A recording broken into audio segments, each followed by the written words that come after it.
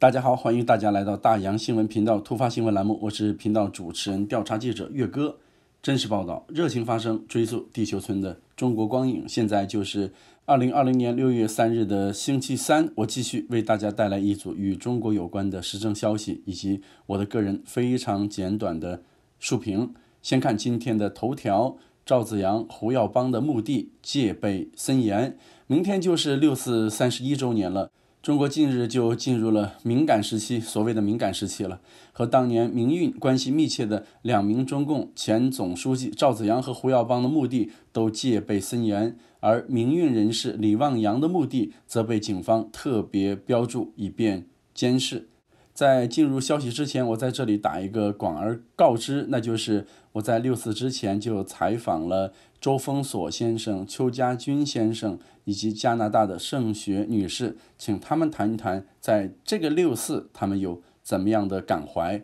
那么我正在做一些剪辑，希望朋友们能够很快来关注。好了，接下去我们就进入消息。在一九八九年的民运之中，时任中共总书记的赵子阳就被视为同情学生的。温和派在六四之后就被中共高层指控为分裂党和国家，支持动乱分子就撤销了党职，并被软禁十五年，一直到二零零五年过世。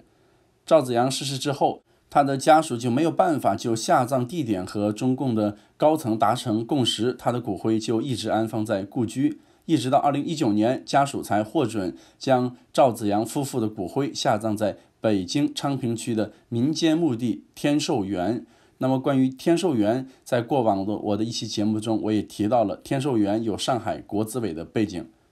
那么，根据香港《明报》的报道，六月二日，在赵子阳墓园之外就已经加强了保安的工作，一辆没有熄火的警车就停靠在旁。虽然并没有阻止或者说盘查进出的人员，但车内警员仔细打量来往的车辆和行人，而墓园之外也设立了值班台。两名保安就要求入园者要持身份证来刷卡，并进行人脸识别。在通往赵子阳墓地的区域，架起了设有施工标志的围栏，禁止任何人进出。而围栏后方也装有一台监视器。不过，一位墓园工作人员就介绍呢，并未听说近期赵子阳墓地附近有施工，而这个区域前几天还畅通无阻。工作人员还特别指出，赵子阳下葬之后，所有通往他墓地的路口都设有监视的设备，密集程度超过以往的监控需求。而在赵子阳下葬之前，天寿园据了解并没有太多的进出限制，但今年一月赵子阳逝世十五周年时，墓园门口就已经设置了身份证的刷卡装置，进出也必须登记。而胡耀邦的墓地也是戒备森严。胡耀邦1982年到1987年间就担任中共的总书记，被视为党内的所谓的改革派。但在1987年的政治斗争中下台，并于1989年去世之后，大批民众和学生聚集在天安门悼念胡耀邦，也揭开了当年民运的序幕。中国人权民运信息中心的消息就指呢，位于江西共青城的胡耀邦的墓地。在六月一日就有数十名便衣公安监视，而当地的饭店和主要路口都有公安驻守了。另外，很多香港媒体和台湾媒体还提到了一位李旺阳，因为声援六四被常年关押之后离奇死亡的李旺阳，近日墓地上被覆盖一块大型红色的塑胶布。中国人权民运信息中心就引述李旺阳的妹妹李旺玲的说法指。公安以此方便监视谁靠近了墓地，一有人接近，警察就会上前盘问或将人带走。李旺阳是湖南的邵阳人，担任工人的他呢，就曾参与八九六四之后呢，被捕判处了重刑，获释后再被以煽动颠覆国家政权罪下狱，前后坐牢约二十二年。旺阳在二零一二年就身故，官方指他是自杀身亡，但家属。至今仍然质疑他的死因。李旺阳刚才提到了湖南邵阳人，真的是吃得苦、霸得蛮、不怕死，令人感怀不已。望阳别来无恙，望阳兄别来无恙。接下去的消息，蓬佩奥将在六四宣布让中美关系雪上加霜的消息，多家美国媒体就有提到。美国国务卿蓬佩奥就已经在美东时间六月二日下午会晤了六次的参与者王丹、苏小康、李恒清和李兰菊等人。而美国国务院将于六月三日中午十二点钟左右，北京时间大概是六月四日凌晨左右公布会面的消息。一般预料，他的说法，美国国务院的一些说法，将让中美关系雪上加霜。美国之音的最新消息就指。根据美国国务院公开的日程，相关信息就显示，蓬佩奥在六月二日的下午两点三十分与国务院会晤了六四事件的幸存者。而美联社引述一名高阶官员证实了这项活动如期举行了，但并没有透露与会者身份和讨论内容。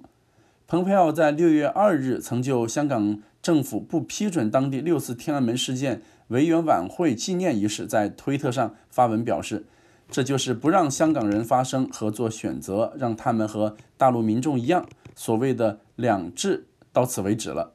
蓬佩奥二零一八年上任以来，每届六四天安门事件周年都会发表声明。二零一八年，蓬佩奥就引用已故的诺贝尔和平奖得主刘晓波的话说：“六四之魂尚未安息”，就敦促中国政府重视天安门事件。到了二零一九年，蓬佩奥则指。美国于六四天安门事件后，希望中国融入国际体系，发展成更开放宽容的社会，但这些希望破灭了。他还敦促中国政府释放因争取自由与权利而遭拘禁的公民。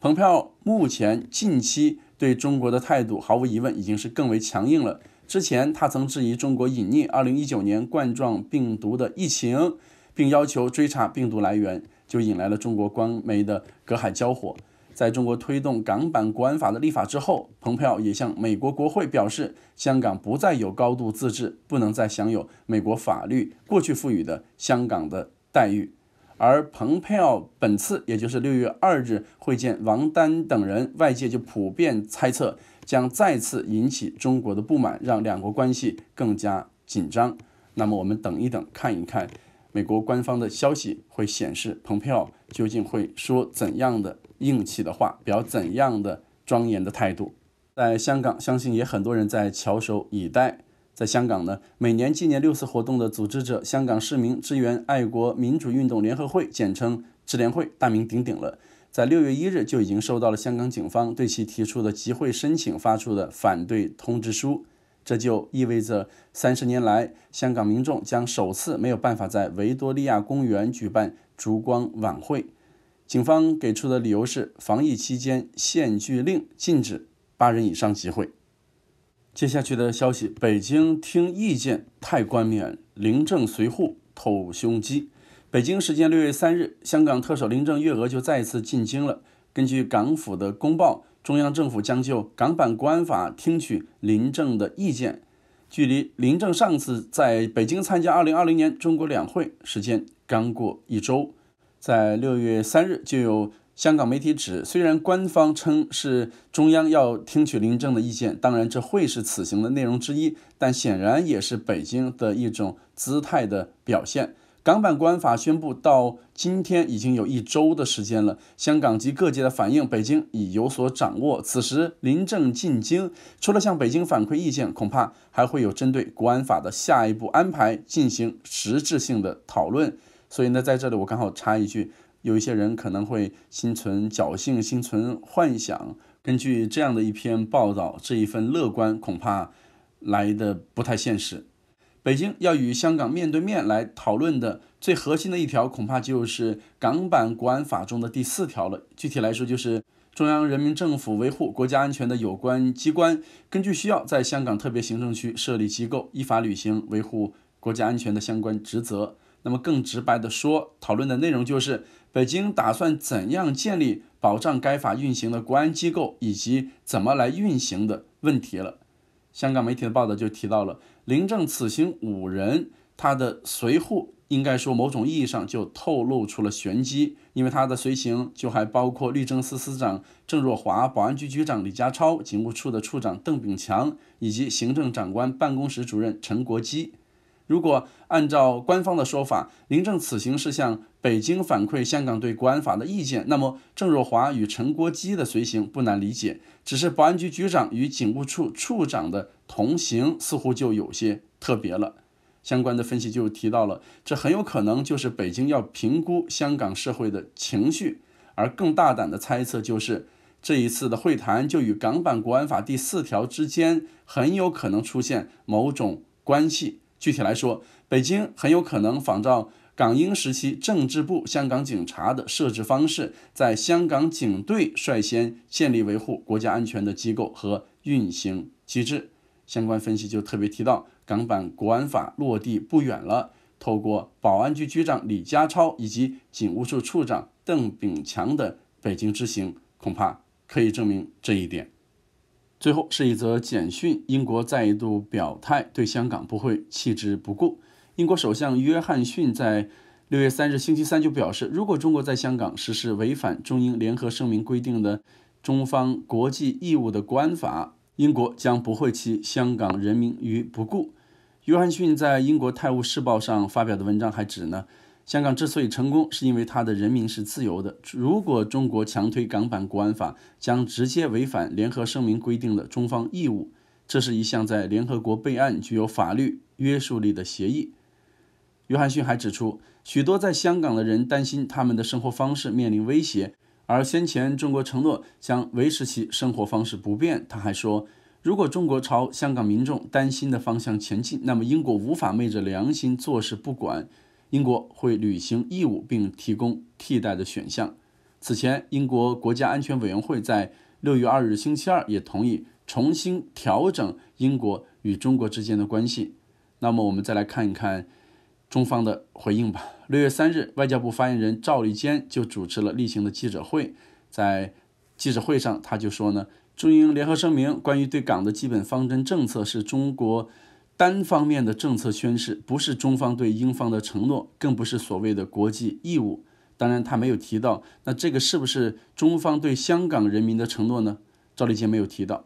他还说呢，中英联合声明没有任何一个字，没有任何一个条款赋予英国在香港回归后对香港承担任何责任。英国对回归后的香港无主权、无治权、无监督权。还说呢，因此英方就没有权利假借中英联合声明对香港事务说三道四，干涉中国内政。